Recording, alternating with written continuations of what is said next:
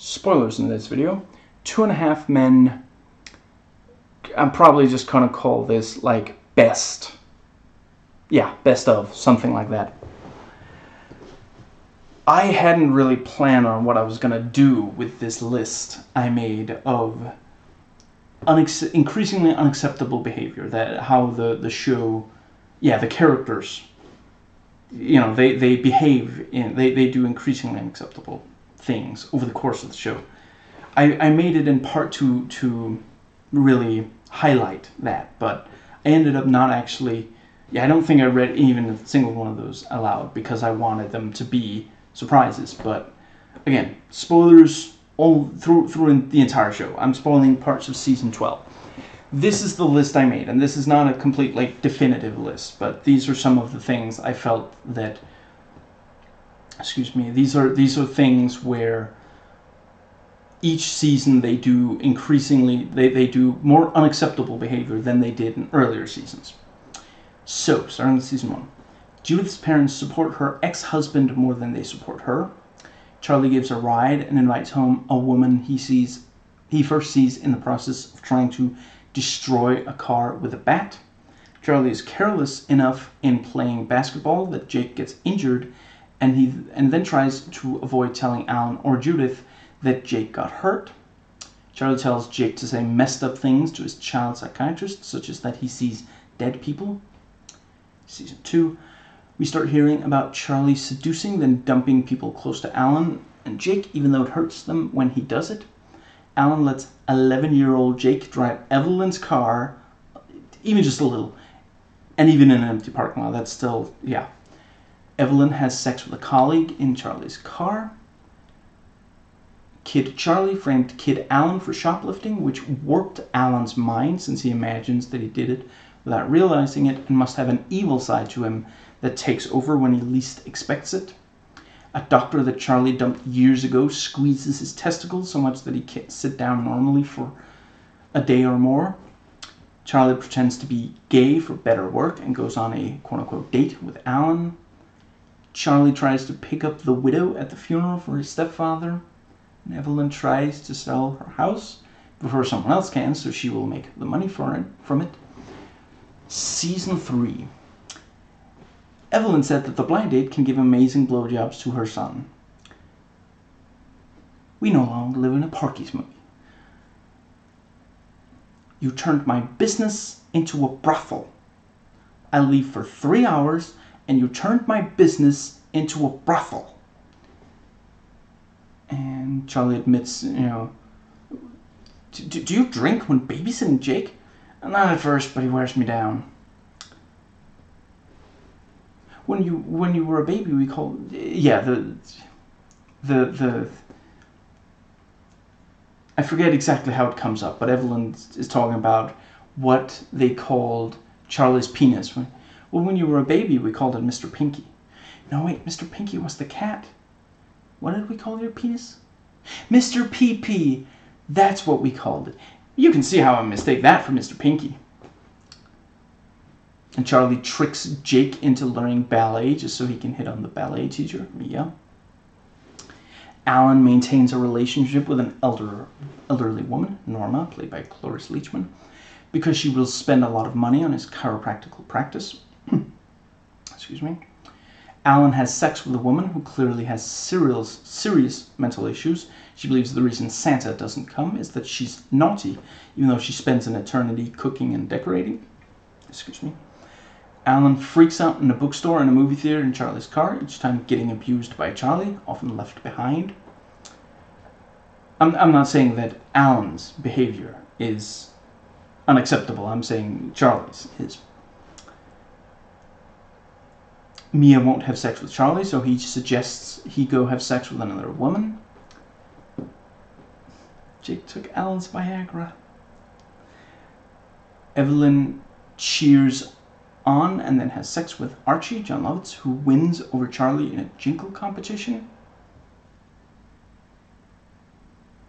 Well, before that, can I ask you a favor? Can I borrow your wedding ring? I thought as long as we're in Vegas, I'd marry Candy. Are you insane? Come on, you're not using it.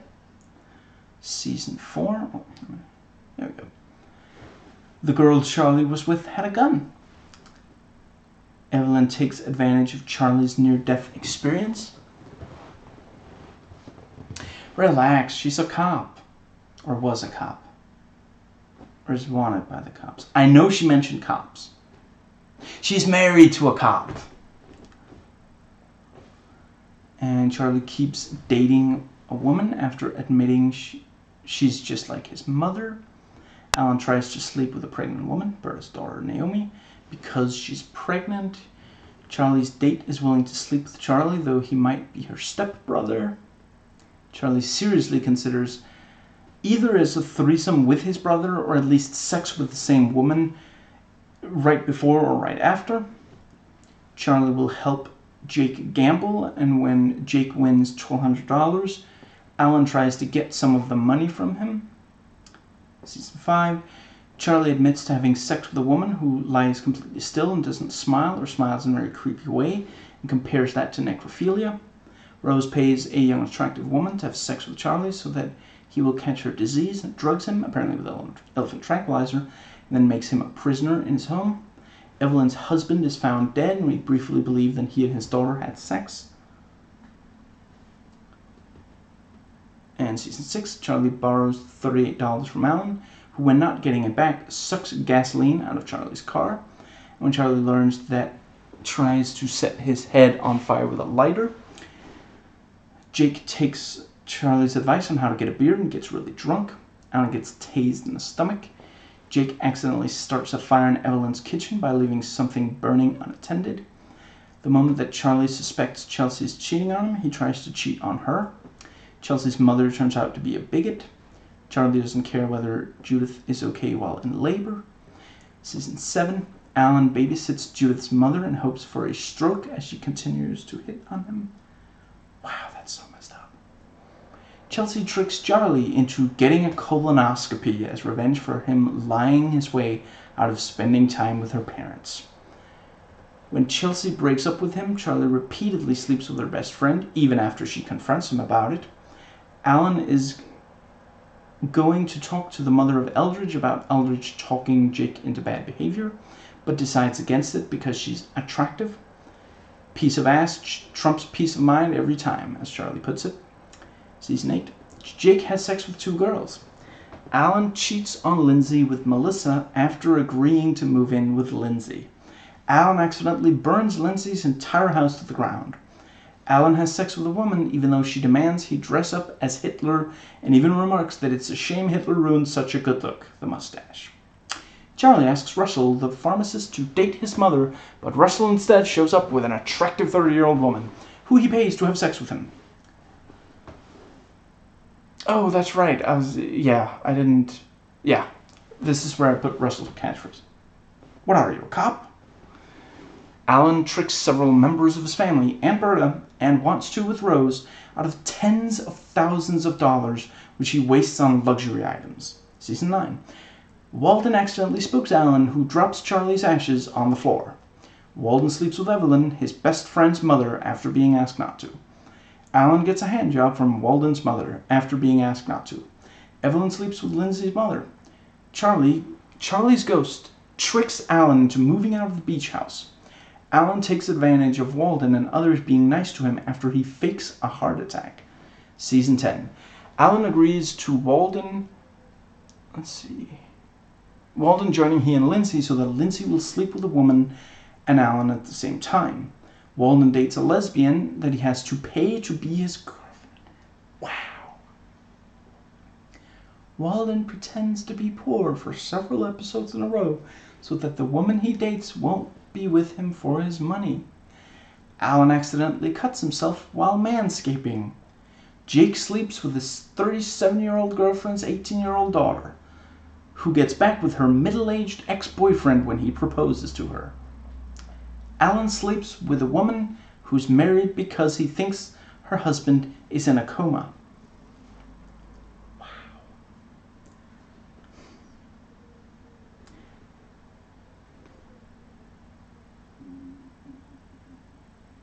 last two seasons. Season 11.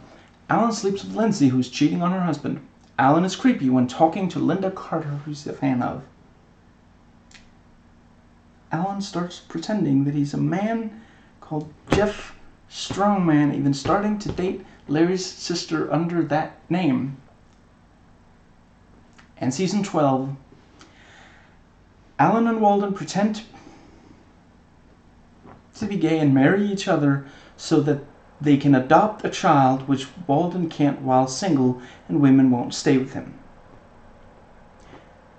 Alan sleeps with her social worker who then becomes a stalker when he, then, when he breaks up with her and she then sleeps with Walden who stays with her so that she won't take away the adopted child. And finally, Charlie seeks to kill Alan, Walden, and Evelyn. And I guess Rose, if she hadn't left. Wow. Man, this was a messed up show, and man, I love it. I guess I should end the video here. I don't think that there's... I mean, everything else... Let me, let me do a quick check. It was really the only spoilery stuff that most of the other stuff I did. I didn't put a lot of spoiler stuff in this. And most of the... Yeah, I think that's gonna be the extent. The... Um, let me, let me briefly see if... Um,